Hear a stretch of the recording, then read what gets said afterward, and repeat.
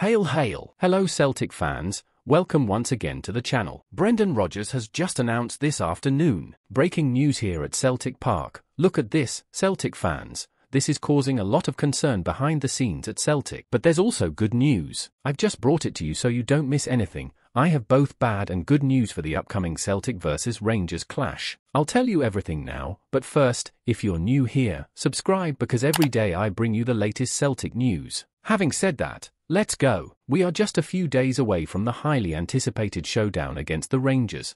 And injury updates bring bad news for the green and white supporters. Brendan Rodgers spoke out about Liel Abada, Reo Hatate, and Daizen Maeda. Starting with Abada and Daizen Maeda, the Hoops manager stated that both will not be in contention to return to full fitness in the derby against the Rangers. Excellent news for our offensive strength, isn't it? But there's a catch. Reo Hatate, the talented Japanese midfielder, unfortunately, will only be back after the winter break. He is in the midst of rehabilitation in Japan and is expected to arrive in Scotland soon. His extended absence since October leaves a void in Celtic's midfield, depriving us of his vision, passing ability, and defensive and offensive versatility. Now, what does this mean for the Rangers clash? That's where the story gets even more intriguing. Hatate's absence could give an advantage to our rivals. Without the talented Japanese midfielder, the Rangers might face a less dynamic and perhaps more predictable Celtic in the midfield. This could be an opening for them to exploit any weaknesses they perceive. The Rangers are chasing Celtic in the table and cannot afford not to win this game. The question remains, how will the team fare without Hatate's influential presence? Now, how do you think Celtic will cope with the absences of Hatate and possibly Abada? Which players could stand out in this crucial clash? Don't forget to comment and share this video with your Celtic friends. Until next time, hail,